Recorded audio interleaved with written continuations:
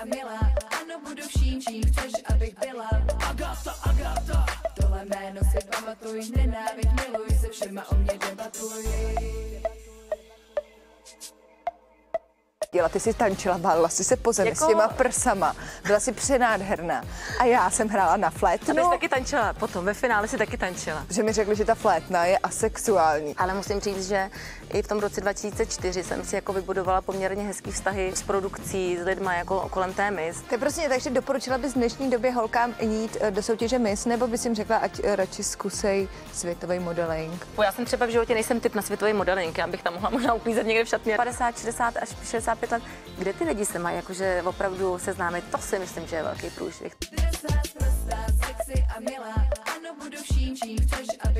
Ahoj holčičky, dneska je to takový uh, misí posezení. Vedle mě už nejsme misky. Jsme pořád. Lucie Králová Šlégrová, která bohužel byla první. Já byla třetí. No, oni to volili diváci tenkrát, jako by bylo dobrý říct. Takže Jako hlas co? lidu se jako nedá spochybnit, jo. Jo, teď já ti to hrozně přeju, doteď. Já vím. Ne, takže my jsme byli s Luckou v roce 2005 na Miss, Ano. což je nedávno. No. A kdyby si tak mohla zaspomínat na tu Miss, my jsme se tam úplně nemuseli. Ne, ty si nemusela mít jako jo, ale je pravda, že oni to hodně podle mě vytvořili média tenkrát. To je jako potřeba si říct. Ne, já jsem tě ne- nesnášela. I jako bez těch novin, jo. Jo, já jsem na tebe prostě hrozně mě žádlila. nesnášela? Ty jsi byla krásná, uměla si chodit, pak si tančila, to já jsem úplně nenáviděla, ty jsi tančila, bálila si se po zemi Jako- s těma prsama, byla si přenádherná. A já jsem hrála na A ty flétnu, jsi taky tančila, potom ve finále si taky tančila. že mi řekli, že ta flétna je asexuální, že opravdu, když Asi mám... neumíš hrát na flétnu. Ne, když máš puse strčenou flétnu, tak prostě nevypadáš hezky. Nedá se to srovnat s tím, když ty se válíš v bikinách. Já jsem měla krásný šatičky, ale, ale je fakt, že jako tenkrát uh, chůze a tancování, protože jsem vyrostla na baletáku, že jo. To je taky dobrý říct, že já jsem vlastně vyrostla na, na baletním sále, tam jsem vlastně celý svoje dětství jsem strávila v Teplickém divadle a tam vlastně to mi strašně jako dalo těch základů, že jsem se naučila hezky chodit, držet zpříma tělo, Uh, naučila jsem se vlastně i jako možná na tom jevišti trošku chovat a jako tvářit, takže si myslím, že, že tam jako ten základ byl v tom baletu. Nevím, nevím, jestli jsem byla tak krásná, to teda nevím, ale jako tančit a chodit jsem uměla. To ti Neměla dám, jsi to ti dám za pravdu. Neměla jsem, no, tenkrát. Třeba teď mám větší, podle mě. než- Jo, to je dobře. že bych to vrátila konečně. Ne, já jsem se hrozně klepala a ty jsi opravdu byla taková jako sebevědomá, hezky sebevědomá. Jo, tenkrát jsem fakt jsem to prožívala tak jako hrozně spontánně, plynule, vůbec jsem se ničeho nebála, to je pravda, ale to asi i ten věk možná, že já jsem už pak, já jsem tak na mě bylo už 23, když jsem vyhrála, ty jsi byla mladší, veď, o dost, nebo? No, třeba o rok, ale jenom můžeme o rok, jenom o dost. rok. Tak si vypadala mladší, o dost, ale, ale nevím, asi jsem pak už byla takový tím životem, já jsem byla už, já jsem si něco prožila už do té doby docela dost. Takže jsem byla už taková trošku otrkaná a už vlastně jsem jako zjistila, že tam samotná mis je vlastně takovýho jenom jako, že taková vlastně procházka růžovou zahradou a že vlastně zase o tolik nejde. Takže já jsem možná mentálně byla Ještě, takže, napřed. to, že byla krásná, uh, chytrá, to bylo ještě mentálně navtep. Ale já nevím, jak, jestli o tom mluvíš nebo nemluvíš, ale uh, lidi to asi vědějí, že ty si na té mis byla vlastně rok předtím. Mhm, To je takový známý příběh docela. Já se k němu, já chci říkat nerada, člověk se k tomu asi jako může vrátit vždycky, protože prostě to je život, ale tenkrát se mi, tenkrát se mi stala vlastně ta, taková tragická událost, že mi byl zavražděn partner vlastně pár dní před finále a já jsem v roce 2004 odstupovala a v tý, tenkrát ten ročník vlastně soutěžil pouze 11 dívek. Byl to takový obrovský halo kolem toho, strašně moc jako po takže jako s absolutně neznámý no-name holky ve 22 letech se vlastně stala taková ta bulvární, troufnu si říct oběť v úzovkách, protože já jsem to vlastně vůbec nečekala a a když je něco hrozně zajímavého, tak se na to vlastně nachytávají jakoby další lidi a, a, a spousta zla vlastně v tu chvíli jako i vůči mě se objevila. Uh, takže to jsem jako těžce prožívala a musím říct, že tam jsem se jako nejvíc. Tam vlastně tenhle ten rok byl pro mě takový hodně zlomový, který mě vlastně jako utvořil a uh, byl pro mě opravdu nejvýraznější v mém životě, protože se tam stalo tolik věcí najednou. A už potom následně vlastně ten další rok už jsem šla do té soutěže možná s takovým větším nadhledem. A šla jsem tam i možná s takovým jako důvodem, že musím, že jsem chtěla prostě, uh, chtěla jsem začít uh, tam, kde mi ten život byl jako přeťat. Tak jsem, měla, tak jsem měla pocit, že musím jako ho navázat znovu na tom stejném místě. A my, když jsme tenkrát spolu odjížděli do Varu, jsme jeli takovým autobusem, tak já jsem se nasadila sluchátka, že se tady nerozbrečím snad, ale, ale tenkrát jsem opravdu poslouchala takový ty naše písničky, co jsme s tím Vaškem měli a, a vlastně jsem jako byla pišná, že jsem prostě došla do toho momentu, kde tenkrát uh, se to přetělo. A tím jsem to jako brala, že jsem si vlastně jako napojila zpátky ten život a brala jsem to v sobě, jako že jsem to vlastně, se mi to jako v tu chvíli jako vyřešilo a já jsem začala jako dál znova žít a pokračovala jsem v tom životě a vlastně jsem byla jako, možná to ze mě i spadlo a proto jsem možná v tom finále působila tak jako strašně uvolněně, protože jsem jako byla rád, že jsem se vrátila zpátky do toho bodu. Protože ten rok byl takový nehezký a byl takový dost komplikovaný. a Takže třeba tak... si myslím, takhle si nikdy nevysvětlila, protože tohle, kdybych já viděla, tak vlastně... Máš třeba radši? ne, že je to vlastně hrozně silný příběh a co jsi říkal, jako proč tam je, proč se tam vrací znova, mm, mm. ale vlastně tam nikdo nikdy neřekl tu věc, mm. že vlastně to třeba děláš pro sebe, že chceš prostě začít tam, kde se ti ten život já jsem nad tím pokazil. tenkrát, přiznám, hodně přemýšlela. No to nebylo tak úplně jako samozřejmé, že půjdu do té soutěže zpátky. Ale musím říct, že i v tom roce 2004 jsem si jako vybudovala poměrně hezký vztahy uh, s takovým tím zázemím, s produkcí, s lidmi jako kolem té mis. A když se vlastně blížil ten následující ročník, tak uh, musím říct, že mě i ty lidi volali nebo psali, ať do toho jdu znova, že tam na mě všichni čekají, že jsme byli jako, že to bylo hrozně fajn. A já jsem tak jako zvažovala, protože ta síla toho bulváru, eh, ty jsi se s ním poradila možná daleko líp než já, ale já jsem tenkrát to brala jako obrovskou křivdu všechno a nevěděla jsem, jestli chci jako do toho, jestli jsem ochotná, jestli to jako unesu spíš. A vlastně jsem to tak v sobě jsem s tím se prala a, a pak jsem si řekla, ne, je to fakt jako můj vlastní boj a já se prostě musím přesto přenést. Já bych se pak celý život možná, ne, nechci říkat vyčítat, ale furt by to možná někde ve mně leželo. A já říkám, já prostě musím do toho bodu znova prostě se tam vrátit a dojít tam. Takže a hlavně jsem věděla tenkrát, že jsem to měla poměrně v tom roce 2004 poměrně i dost eh, blízko to vítězství, takže, eh, takže jsem jako měla tendenci si ten život jako nakopnout. Říkala jsem si, třeba to vyjde, třeba to nevyjde, třeba mi to něco přinese něco, nějaký zlom se stane, takže člověk jako nevěděl, co bude tam na konci, ale rozhodně to pro mě bylo potom hodně důležitý, že kvůli sobě jsem tam opravdu chtěla pak jít zpátky, abych, abych, se to, abych se to prostě jako v tom životě jako narovnala. A... Jako najít tohle vnitřní sílu, to je opravdu jako... No, ale já jsem pak paradoxně vyhrála a, a nebyla jsem jako z toho nějak... Uh, vlastně jsem čekala, co přijde, uh, že teda jsem to jako dokázala. No ale pak vlastně stejně ta ztráta byla tak veliká a ta bolest byla tak silná, že že třeba dneska už si umím představit, že bych si to králování jako užila, že bych si to jako uměla vychutnat, užila bych si to, možná bych toho uměla i líbí užít. Ale v toho času já jsem byla furt jako strašně bolavá a strašně zraněná, takže já jsem sice vyhrála, ale pro mě to tu váhu mělo takovou jako povrchní to bylo pro mě a vlastně vnitřně v sobě jsem byla furt ten zlomený človíček. Takže jsem jako neuměla s tím podle mě úplně dostatečně dobře naložit. Je pravda, že jsi se stáhla vlastně. Pak jako jsem se vlastně stáhla brzo, jako poměrně rychle jsem se stáhla a měla jsem teda takovou velkou konkurenci v tobě, protože...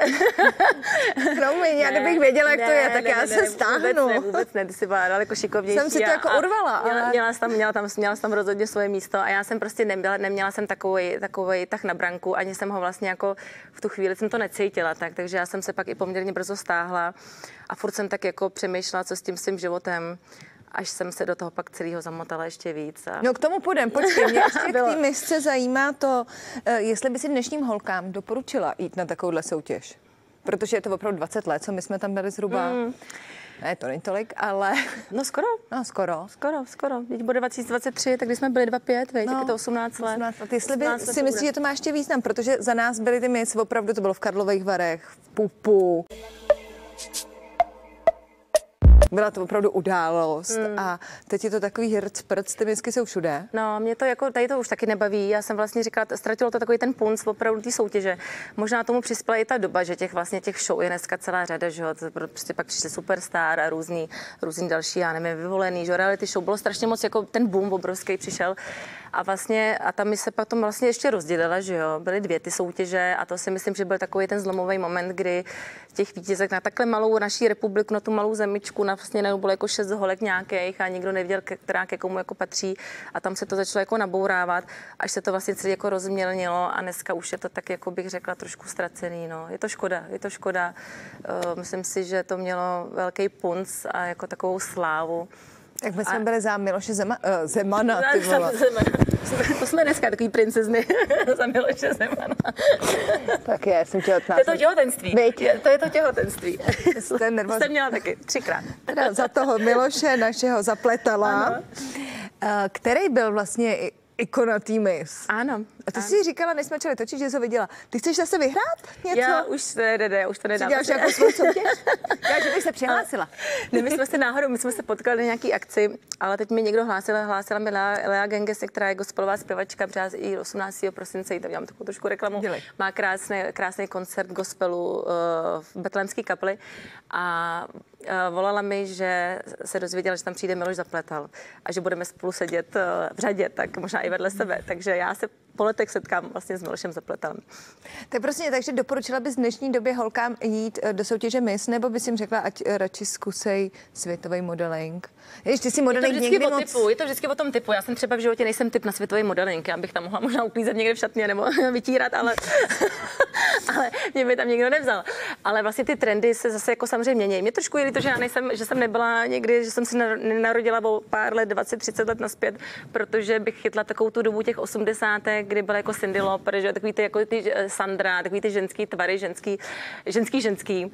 A vlastně za mě pak už byl ten boom takových těch, začal být ten boom těch vychrtlin, jako těch opravdu těch vysokých, hubených holek, takových těch jako ramínek, těch vyšáků na šaty. A já prostě se svým, samozřejmě se svýma proporcema uh, bych jako v životě neuspěla. Takže já jsem nechytla úplně jakoby dobrou dobu toho světového modelingu, samozřejmě ten je úplně o něčem jiném. Ale ta miska si pořád držela takový ten punc té uh, reprezentativní vlastně jako slečny nebo dívky. A, a, tam jako jsem ještě tenkrát, a mě vlastně zvolili fakt ty diváci, takže ty mi dali především. Mě taky. No tebe taky, Ale samozřejmě míň. nás všechny tři, že jo, ale, ale, ale ty nám dali jako vlastně ten stup, tu stupenku vlastně Nám posílali. SMSky, Takže aby my vám jsme to děkujeme, my vám, my vám zpětně děkujeme. Jestli ještě někdo si nás pamatuje, tak děkujeme. Mě teda posílala máma hodně, ale... Takže záleží, co ta dívka jako chce, co od toho očekává. Takže když má někdo opravdu a priori krásnou figuru, dlouhé nohy, 185 cm, tak asi do světového, do světového modelingu se dneska hodí, že jo, to já už tam nemám co dělat. Takže doporučuji holkám, ať hlavně jsou soudní, ať jdou do toho, do čeho, na co mají buňky, co jim prostě půjde a že mám někdy pocit, že ta soudnost se poslední dobou vytrácí v mnoha ohledech, teď se nebavíme jenom o mis. Takže ať si jde každá dívka tak kam by měla směřovat. No. Hlavně ať je soudná pro boha, jo. Proto já třeba dneska tady nevařím, protože to je taky dobrý říct, protože já jsem natolik soudná, že jsem řekla, že by to bylo trapný, kdybych já vařila. Eh, Lucka přiznala, že neumí vařit, ale přitom je to maminka třech chlapů. Hmm. Jak to, že neumíš vařit? Takhle, já ne, ne, Umíš. neumím. Zavařit samozřejmě umím, ale nemám proto tu vášeň. Takže já, když jsem byla s klukama tenkrát sama, tak jsem samozřejmě musela vařit, že jo. Člověk jako, eh, musíš prostě nakrmit ty děti, ale, ale není to něco, co mě baví, je to něco, co musím. A pak jsem zaplať pán Bůh mi jako do života vstoupil můj nynější manžel. Musíme to říct, tak aby holky to Aby chápaly, prosím dobře, tě. dobře. Takže první dvě děti jsou Z předchozího manželství. s panem Kau. To nemusíme Ne, říkat. s pánem. S pánem. S pánem. A teď uh, nejnovější chlapeček Ano, je s Jirkou Šlégrem, ano, ano, hokejistou. ano. Já nevím, aby to Bývalým hokejistou. Jo, to mě zajímalo, jsem dneska nad mi tím přemýšlela. důchodu. Jestli trénuje. Ale je- to je mimo řeč, jak jsme se dlouho neviděli, No, tak... jako, jako, mm, no, trénuje děti. Jo, No, jestli trénuje děti, nebo jo, jestli... trénuje děti. Mě trénuje zajímalo, co děti. dělají starý hokejisti uh, No, no, někdo, přes jde, den. někdo, jde, někdo jde trénovat, někdo se uchýlí někam do kanceláře, jako nebo do, do klubu nějakého hokejového, takže, takže, ale většinou ty bývalí hokejisti se snaží třeba trénovat a jdou do té mládeže, že to taková, jako bych řekla, přirozená posloupnost vlastně po tom skončení profesionální kariéry. A někdo je celý život pak už doma třeba. No, to, k tomu se dostaneme, protože to já jsem nad tím přemýšlela, co dělá Jirka Hudler, můj bývalý hokejista, můj kluk. A má taky hodně dětí, myslím, ale... No, ale tak mě zajímalo, co to dělá odpoledne. Uh, ne, že bych s ním chtěla někam jít. Tak, uh, prosím tě, takže uh, jsi byla na... Vaření. Ne, jdeme k těm dvou chlapečkům, na který jsi byla sama, než jsi poznala Jirku. Ano, Ty ano. jsi se rozvedla Ano.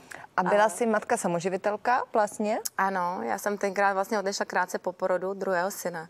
Takže Jak dlouho po porodu? Byl opravdu pár měsíců. Byl opravdu malinký, byl miminko, protože my, když jsme se s Jirkou poznali, tak malýmu byl v srpnu rok a my jsme se poznali v říjnu.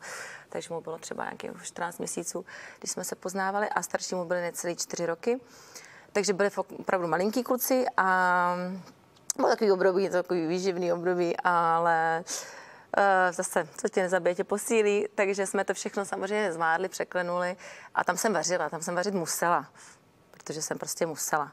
To jo, ale šla si, to se asi může říct, že tvůj první muž byl, uh, nebyl úplně chudý, šla si jako z hezkého domu hmm. do... Paneláku. Paneláku. Hmm. Ale mě to nevadilo. Já jsem přiznám, že jsem tím nikdy netrpěla že tak já jsem vyrostla, já jsem vyrostla, já jsem ze tří dětí a moji rodiče vždycky měli opravdu jak se říká, velký kulový. My jsme fakt nic neměli a žilo se, žilo se prostě od výplaty k výplatě, od měsíce k měsíci. Takže já jsem jako nikdy nezapomněla na to, z jakých poměrů jsem zešla. A vždycky vím, že může být daleko hůř. A vždycky jsem se hlavně uklidňovala tím, že lidi mají nemocní děti. Jo. Vždycky jsem si jako i možná i trošku záměrně jsem se tak jako pouštěla takový ty eh, srdcerivný příběhy, kdy opravdu lidi řeší úplně jiné jako starosti a opravdu Já velký, vím, ale pro mě měla si laktační psycho, nebo ne laktační psychózu. No, možná, no. Ne, jakože kojila si, což ty hormony my ženy máme úplně rozhozený. Do toho seš jako z baráku v paneláku. Já jsem teda nekojila, ale trpěla jsem, trošku tak... jsem trpěla, že jsem vlastně No ono se to točku zase vrací, to bychom se museli malinko vrátit zpátky, zase trošku k té Protože já jsem vlastně tady vyprávěla ten svůj příběh a já jsem, proto já jsem řekla, že jsem byla natolik ještě pořád zraněná, že pak jsem se do toho ještě víc zamotala. A já si myslím, že jakýkoliv, jako každý, jakýkoliv bolístko ten člověk v sobě má, jakoukoliv jako velkou bolest a nějakou ztrátu, tak by si to měl, jako měl by si dát ten svůj čas na to si to odžít. A já jsem samozřejmě byla mladá, Dneska to člověk vidí všechno úplně jinou jako perspektivu, v jiné perspektivě, ale eh, z jiné perspektivy, ale uh, já jsem si to neodžila, já jsem si to vlastně jako neprotrpěla a vlastně udělala jsem další a další kopance a rozhodnutí v životě, uh, až jsem se do toho právě takhle zamotala. Takže tam se to všechno jako vrací k tomu, že, se, že pak vlastně člověk lehce se možná oddá někomu a uvěří něčemu. Eh, a my ženský na to jsme takový specialistky, že eh, hrozně rádi jako máme ty svoje krásné představy a věříme tomu hezkému a už si to všechno představujeme. A ta realita pak bývá vlastně úplně jakoby jiná. Takže já jsem se vlastně oddala do rukou někomu, eh, komu to za to vlastně nestálo a uvěřila jsem spoustě jako hezkým slovům a věcem a, a ta realita vlastně byla naprosto jiná, takže tam jsem se do toho jako hodně zamotala. A, a vlastně dalo by se říct, že, jsem, že mi to trvalo celý ty leta i, i po tom rozvodu, než jsem, pak už jsem přišla, pak, když, jak přišel ten Jiřík můj, tak nějak předtím bych říkala, že jsem se z toho jako vlastně, že jsem si těch mých bolístek vlastně, až jsem si jako odžila až za ty roky, jako jo, že to opravdu mi to trvalo dlouho. A pak tam jenom stála ta žen, zase jsem to byla zpátky já, ale trvalo mi to strašně let, než jsem se jako vrátila zase do toho svého já a mezi tím bylo jako hrozně moc bolesti. A ještě jsem to jako přiživovala vlastně sama těma mýma špatnýma rozhodnutíma. Takže to se nám někdy v životě ženským stává. No. Jo, to já bych o tom taky mohla vyprávět. no. Ale prosím tě, o, takže bys poradila že nám, který třeba opravdu zažil nějaký trauma, prostě nelepit to hned nelepit něčím to, no. Jiným. Člověk třeba už si myslí, že zatím. A tam je do, dobrý, jako důležitý mít nějaký okolí. Já jsem možná měla trošku tu chybu, že jsem se hodně uzavřela do sebe, že jsem málo komunikovala i s okolím. Byť to nebyla chyba toho, té druhé strany, byla to spíš bych říkala, já jsem byla hodně, hodně uzavřená, že jsem to tak cítila. A protože to okolí nám někdy dává ty varovné signály, že jo? Když, když tě má někdo rád, tak tě trošku jako snaží se tě směřovat nebo varovat. A já jsem to jako vůbec nechtěla vlastně, byla jsem hodně takovou zeď jsem si tam postavila. Takže já jsem vlastně i tímhle jsem si jako trošku uškodila, protože jsem vlastně uh, jednala sama za sebe v té své bolesti nebo s nějakou tou svojí naivitou a svou svojí mm, velkou důvěrou k někomu a, a tím jsem vlastně prostě sekala další a další vlastně chyby.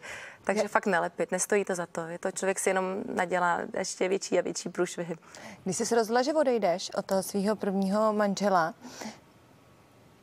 jako, jak je to, víš, že to musí být hrozně těžký, protože si myslím, že v takovéhle situaci je spousta žen a že spousta žen v tom zůstává trpí v nějakým vztahu, mm. který prostě není dobrý jak pro ně, tak pro děti, tak vlastně i pro toho partnera.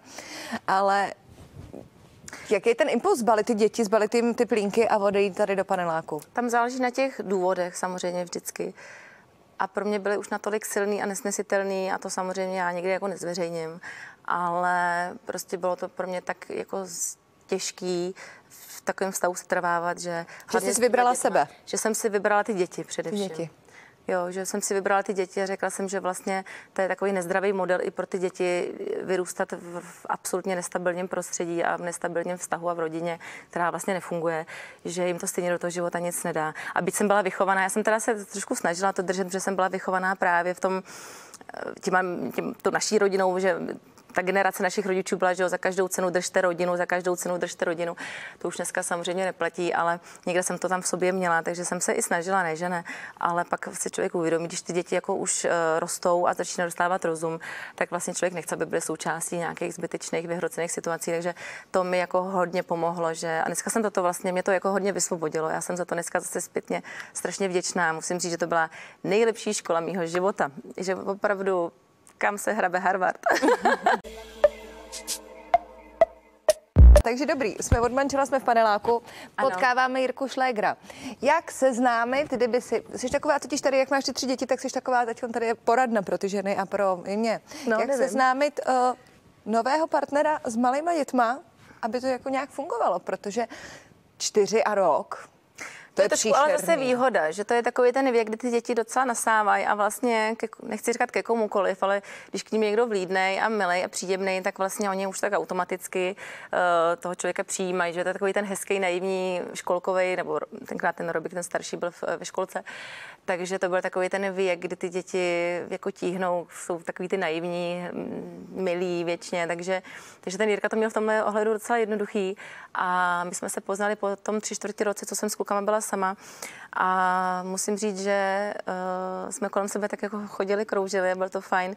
A vlastně hezký na tom bylo to, co jsme se pak bavili zpětně, že ten Jirka se do mě tak jako zakoukal po tom, co on mě vlastně celou dobu sledoval, mě s těma dětma na hřišti, abych to jako přiblížila.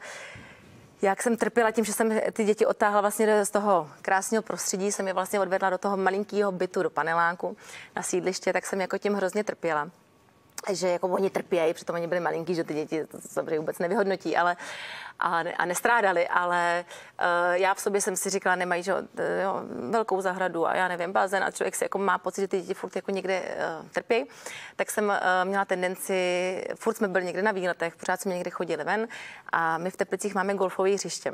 A mě tam uh, tehdy paní manželka pana majitele golfové hřiště pozvala, a já jsem byla hrozně přímě překvapená z toho prostředí. Měl tam obrovský dětský hřiště, uh, takovou pěší zónu, kam se šlo na koníky, na samý zvířátka všude. Takže já tam začala jezdit. Strávala jsem tam volný čas. A Jirka... nahradila dům s zahradou za to. Tak, tak. A my jsme tam trávili vlastně veškerý dny. Měli tam i výbornou restauraci, kde se dalo pak i najíst. Takže já jsem tenkrát šla s mojí mamčou, s dvouma klukama a naproti nám čel Jirka Šléger. A moje maminka do mě tak šťouchá a říkáme, to je ten slavný hokejista. A já říkám, mami, prosím tě, a řekla jsem strašně zprostý slovo, neřeknu ho nikdy. a tak jsem ho jako nazvala. A mamka, jak to mluvíš, vyjadruj se služně. A, a pokračovali jsme dál. A já jsem vlastně na tom golfovém hřišti jsem potkala toho mýho Jirku, a on tam chodil hrát ten golf, protože on se v té době rozváděl, nebo ještě se nerozváděl, odešel od rodiny a šel žít do Teplic. Takže já, když jsem se vracela z Prahy, já jsem se vracela z Prahy do Teplic za rodinou a Jiřík je původně z Litvínova a odešel, do te, eh, odešel od rodiny a šel žít do Teplic, aby odešel z toho malého města. Takže my jsme se potkali v těch Teplicích spolu na tom golfovém hřišti. A vlastně takhle tam začala ta naše láska, kdy on mě vlastně pozoroval, jak já jsem tam trávím ten čas s těma dětma a on tam chodil hrát golf a chodil tam bavit s přáteli. A my jsme se vlastně jsme se vykali, my jsme se jako neznali a on mě tam vlastně tak ty čtyři měsíce tak jako pozoroval od toho léta, protože bylo červený srpen, jsem tam byla vlastně pořád a, a v říjnu eh, mě pak oslovil a, a tak, takže, takže a oslovil mě vlastně před těma dětma, to bylo taky, takový fajn. A, a on už ale měl větší děti. A měl jeden, tý, toho času měl 11 letou dceru. No a tam vztah s tou dcerou to muselo být složitější. To je vždycky samozřejmě takhle. Já... Obzvlášť, když jí přivedeš ještě dvě malé děti. Já vždycky říkám, že tam je strašně důležitý u těch, eh, dneska těch rodin spojených je strašně moc, že? protože ta rozhodovost je opravdu veliká, takže si každý sebou uneseme nějakou minulost a, a vlastně tam vždycky hrozně záleží, jestli ten, ten partner nebo ten, rodi, ten druhý rodič u toho dítěte, jestli ti k tomu pomůže. Jo, protože ten buď, tomu, buď ti může strašně pomoct, nebo ti může strašně ublížit tím svým přístupem k tomu novému, novému, novému životu toho bývalých no manžela nebo manželky. S čím jsi tam přišla? Přišla jsem třeba s hračkou nějakou, víš, jako... Kam? Když jsi, jsi se viděla poprvé s dcerou. Já jsem ji tenkrát viděla poprvé, když uh, jsme manželé, já jsem ji tam vezla Já jsem mi vezla jídlo, protože jsem si myslela, že já jsem uvařila guláš. Takže neumí vařit to. Jsem si Ale myslela- prošla, kdo si vařila. Tak, protože jsem si myslela, že je chudák sám, že jo, odešel, je sám, tak jsem mu vezla guláš a v tu chvíli vlastně tam jsem viděla, že má i dceru, takže tam jsem ji vlastně poprvé viděla. A přivezl jsem mi ten guláš, pak Jirka říkal, že byl eh, hrozně, hrozný, protože byl ne, eh, nesolený, jak jsem měla ty děti, tak já jsem moc nesolila, že jo. Takže si to dochutil všechno. A já jsem v té době vlastně nevěděla, že on vůbec takhle umí výborně vařit, protože on je výborný kuchař, tak tomu se ještě dostaneme. A tam já jsem vlastně poprvé potkala tu dceru. Ale samozřejmě je to něco jiného, když třeba s tím partnerem, já jsem ty děti potom přivedla, my jsme začali pak záhy na to i společně žít, takže ty moje děti vlastně tam byly intenzivně, nebo že rostly s náma, když to ta dcera k nám pak zase docházela, takže těch okolností je celá řada, uh, který jako budují nějaký ten vztah uh, s těma dětma. Ale teď jsem četla nějaký krásný článek, uh, jak být dobrou macechou. To je tak těžký téma. To jako opravdu, to si řekněme, jako není to jednoduchý. Není to jednoduchý. A máš třeba to, že ti dcera zavolá Jirky, jako když má nějaký problém? Jo, teď, teď zrovna Jste, jsme už máte zavolali- takový vztah. Tak dneska jí už bude 24, jako jo, takže už my jsme spolu taky s Jirkou 12 let, takže samozřejmě, samozřejmě už to všechno jako se, taky se to posouvá, ale nebyly, nebyly tam vůbec jednoduchý jako období, ježiš, to zase se nebudeme tady nalhávat. V tom ten život je takový hezký, že nám to tak připravuje, a, ale, ale A nějaký rady, co bys měla pro holky, jak se zachovat, když třeba holčička vysí na tatínkovi a tatínek tam má novou partnerku s dětma? ale my jsme se chovali, si myslím, velice jako rozumně s Jirkou. To jo, ale puberta, jako nějakou takovou, jako nějaký průser, co bys řekla těm holkám, jak udržet nervy? My jsme jako hrozně a priori jako řešili to dobro pro ty naše děti. My, když jsme byli s těma dětma, tak jsme opravdu jako úplně omezili sebe, co je pro nás. My jsme jako nějaký svoje emoce nebo láska, jsme byli hrozně zamilovaní. Tak jsme to uměli jako potlačit a primárně jsme se jako starali o ty děti. Věnovali jsme se těm dětem, těm jejich potřebám, co oni potřebují, co zrovna aktuálně řeší v jejich životech. Eh, Takže my jsme jako hodně vždycky se snažili řešit ty děti a na sebe jsme si nechávali ten čas eh, ten jiný, ten, ten, ten, ten zbytek. Takže jenom jako doporučuji prostě na ty děti brát na zřetel a přijmout je, protože prostě uh, stejně vám nic jiného nezbývá, musíte to přijmout a jestli se vám to děťátko nebo ta druhá strana, maminka, tatínek líbí nebo nelíbí, prostě pokud chcete toho partnera, tak i s celou jeho minulostí a tak to je. Takže stejně tak jako Jirka respektoval to, že uh, si mě našel, jak on říká v tom balíčku s těma dvouma dětma, tak já jsem respektoval ten jeho balíček a, a takhle by ty lidi, to je jediné, co vám vlastně zbývá, nebojovat s tím, protože a rozhodně nemá smysl bojovat jako s dětma. To je, si myslím, jako, to je prostě cesta do pekel. Myslím, že se nedá přinutit dítě, aby mělo rádo toho partnera. Já si myslím, že se určitě nedá nik- nikoho. A, a vůbec Nikdo nikoho. Nikdo nikoho nemůže přinutit, aby někoho měl rád.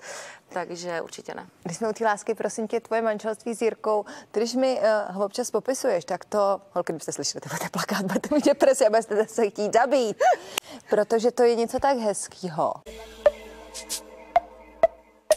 Jak pracovat na šťastném vztahu? To bych já třeba zrovna potřebovala vědět. Ty, hele, ale já na to fakt, já, já jsem nad tím sama kolikrát přemýšlela, jo. Ale já si myslím, že to je hrozně daný tím, že záleží, kdy uh, v jaký životní fázi koho potkáš, protože my jsme To jo, ale když se hádáte, hádáte se my se někdy? právě nehádáme. To je hrozný, jako, nebo hrozný, je to hrozně hezký, ale, ale uh, ježiš, A to jako ustupuješ? Ne, my jsme tak rádi. A to je, je to hrozně daný tím, že jsme si něčím prošli. Jak jsem tady už já vyprávěla nějaký svůj životní příběh, Jirka taky měl, zažil zestupy, pády, to prostě, když to člověk zažije, a padáš vždycky na to úplný dno a zase se odrazíš, že zase se někam jako konečně do- dohrabeš, tak a zase pak přijde nějaká rána, tak ono tě to v tom životě hrozně formuje a pak už si jako vážíš těch věcí a těch lidí, co potkáváš. Takže my jsme se jako potkali vlastně ten nej, nejvíc vhodný moment, kdy si myslím, že jsme už jako oba věděli, co opravdu chceme a, a že si vážíme jeden druhý a vážíme si i toho klidu a toho souznění a vlastně, co my jsme jako zažili hezkýho, že my jsme si strašně dlouho povídali. My jsme třeba, když jsme spolu když jsem bydlela v tom panáku, děti usnuly, tak my jsme si třeba 5-6 hodin v kuse prostě telefonovali, byli jsme schopni to provolat. A měli jsme si pořád co říct a to jsem věděla, že jako je hodně dobrý znamení. A my... Pustila jsi ho ke slovu? Jo, pustila jsem ho ke slovu. To bylo prostě, a právě to je o tom respektu. A o tom, o tom navnímání se toho druhého člověka, že prostě když uh, cítíš, že ten druhý má prostě opravdu i nějaký trápení, tak ty svoje, když nejsou tak zásadně velký, tak je upozadíš a prostě věnuješ se tomu druhému člověku. Vyslekneš si ho, prostě já nevím, jako to je tak, to je tak jako, Takže není to ztracený, jakože uh, pro holky ve věku, nevím, kolika s dvouma dětma, můžou si ještě někoho najít a být šťastný. vždycky můžou. A kde bys třeba doporučila holkám hledat, kromě hřiště golfového u vás v Teplicích? No. a to je průšvih. To je hrozný průšvih, protože dneska přesně jak jsou ty sociální sítě, to je, si myslím, že to je, jako, to je takový velký špatný podle mě, protože lidi už se jako hrozně málo združují.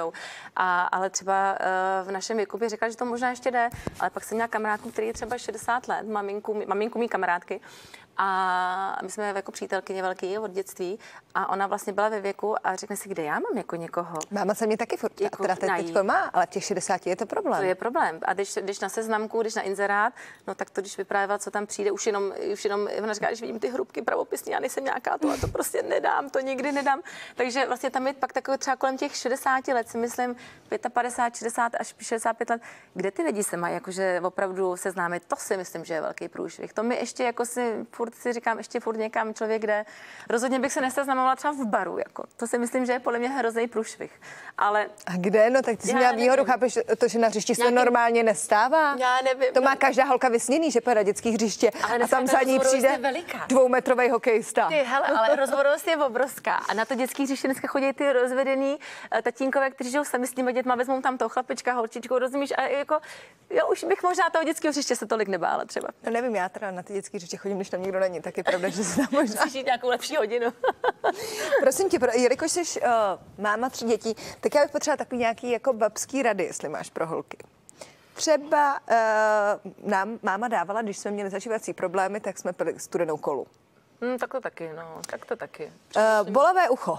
Jestli máš nějaké jako svoje takové vychytávky, co bys tady mohla holkám jako doporučit? Hele, Jana, já jsem na tom, já jsem taková, uh, já nejsem úplně ty babské rady a než na ně nejsem, nebo že bych jim nevěřila, to vůbec ne.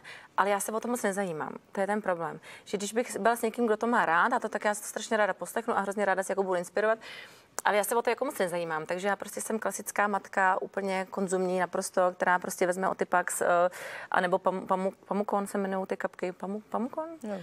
Takže mám prostě vždycky, když jdu na dovolenou, tak poprosím doktorku, potřebuji sebou kapky do Takže uší. nejseš biomatka, prostě chodíš doktorce. Chodím prostě doktorce. Očkuješ. Mám na očkování děti, no. Já taky. Mě upálej dneska, podle mě. Ne, já si myslím, že by to... Antivaxeři mě upálej, že by... já mám i všechny nedobrovolné očkování. Já taky. No, tak to, to, to, to se naběhne. Očkováním úplně posedla. No, moje paní doktorka, a teď mě nebudou opravdu snášet ty antivaxeři, ale teď jsem tam byla a ona už to nemá ani kam psát, protože mu děti mají úplně všechno, co můžou mít navíc.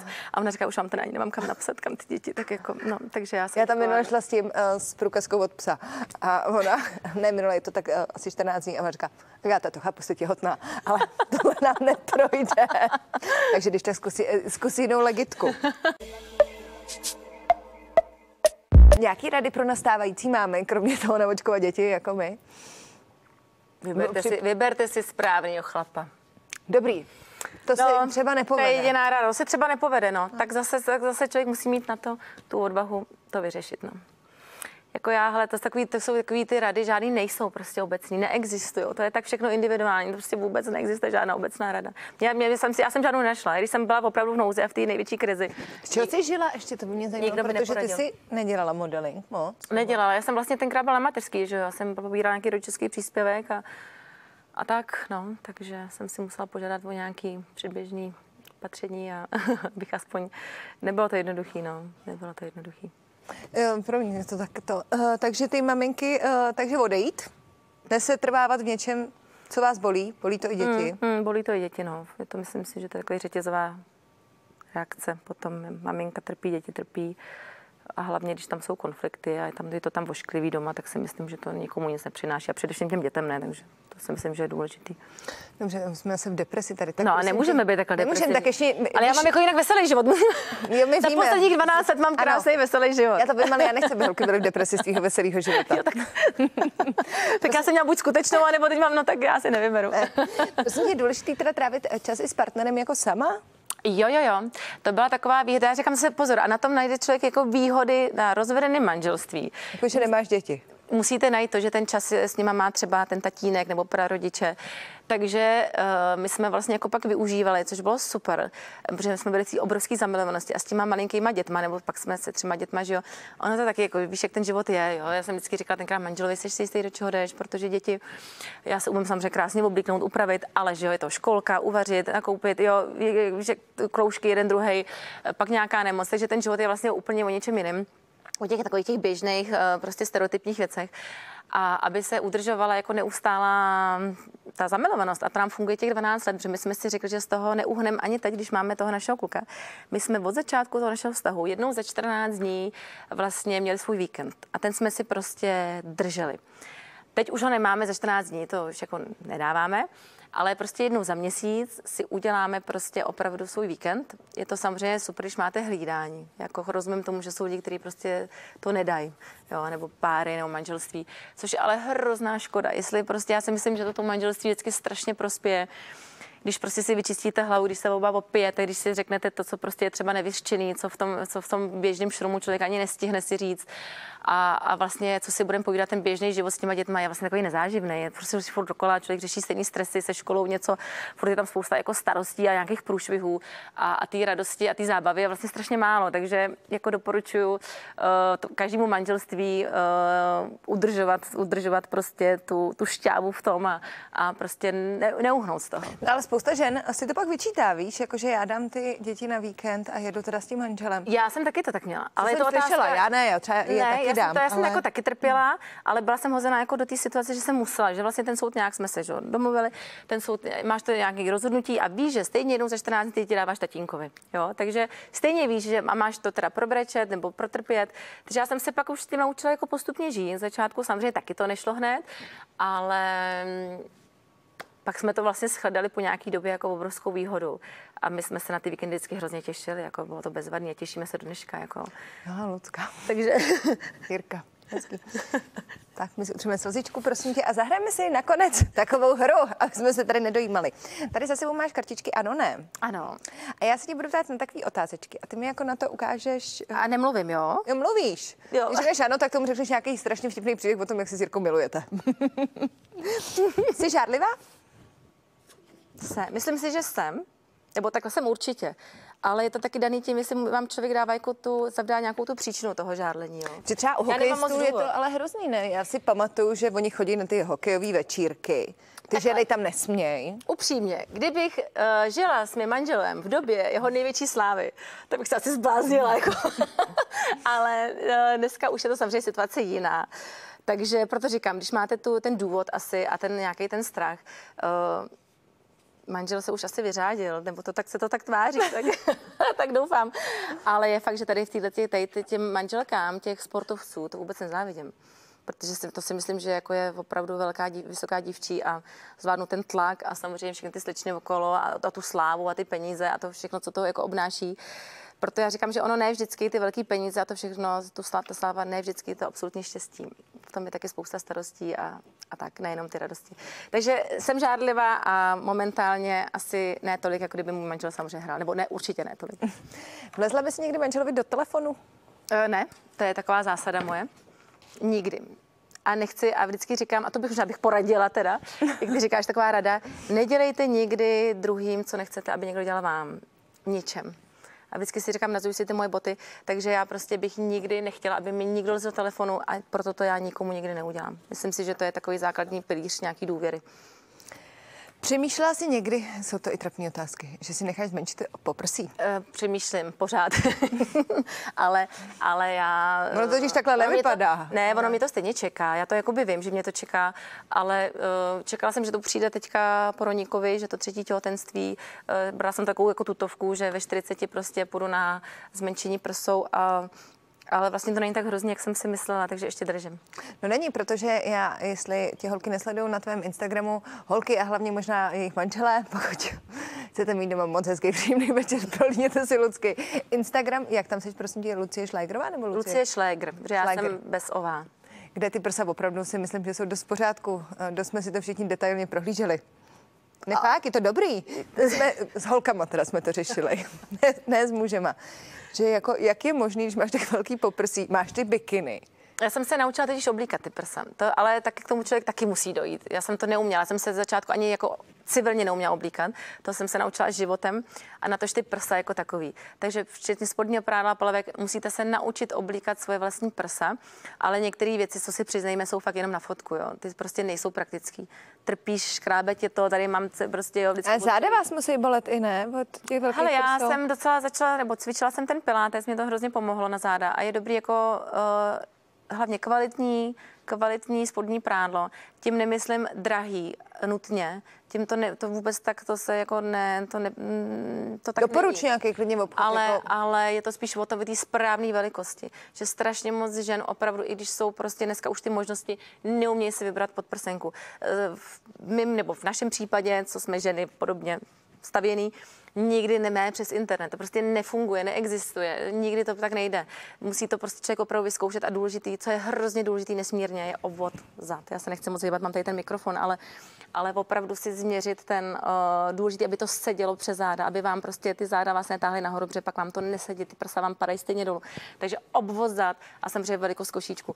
A to je tak strašně důležitá věc, že vám sedí spodní prádlo. Za prvý vám to strašně pomůže od bolesti zad, od držení těla a samozřejmě ty prsa to drží asi trošičku díl, než kdyby člověk nosil špatný spodní prádlo, takže ta, ta pevnost je pak samozřejmě jakoby lepší a do toho nějaké cvičení a, a tak, ale já si myslím, že základ je naučit se prsa oblíkat. Opravdu. Tak a poslední otázka, dokázala by si jet na dovolenou bez dětí? Já jsem byla nedávno. to je to, co já vlastně říkám, že je důležitý si manželem, si, takže my, jsme si, my si i jednou za rok dopřejeme, že jdeme sami na týden úplně bez dětí. To jsme taky na tom Instagramu všichni viděli, bylo to moc hezký, Maledivy. Mhm, Uh-huh, Prosím tě, a teď uh, tě poprosím jako vzácného hosta, že by si zapálila první svíčku na adventním věnci, protože je první adventní neděle. A ještě mi v rychlosti jenom řekla, už máš všechno připravené na Vánoce? Já jo. Počkej, pozor! Holčičky moje, co se koukáte, můžeš mi vysvětlit? Ty si je to tak čtyři dny zpátky balila dárky na Instagramu. Mm, už je to i možná díl, víc dní, ale já... To byly vážně dárky jako pro, Jako fakt, to bylo letos, no. jako pro tvoje děti? To bylo asi 12. listopadu nějak, tak jsem to... Já říkám, to jaká charita, to ona někomu ne, poveze. Ne, ne, ne, ne, ne. Ale víš, proč já to mám ráda? Protože můj syn nejstarší je narozen 14, eh, 4. prosince. A já mám strašně ráda, když už jako mám i nazdobený dům, to, když on už má ty narozeniny tak jako hezky váno, v tom vánočním prostředí.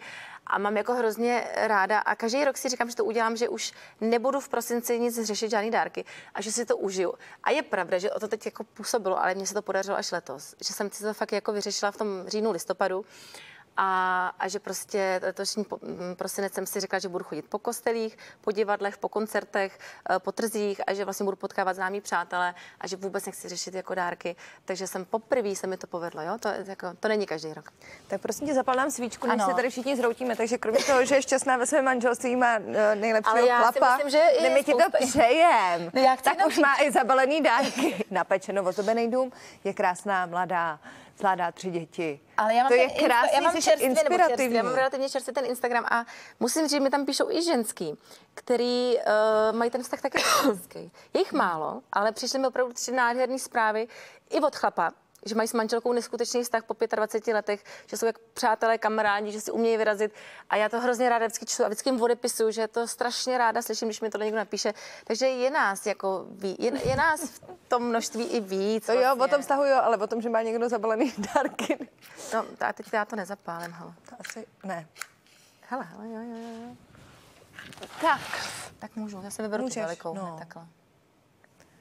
Tak ať tak. se nám všem daří. tak já ti moc děkuju.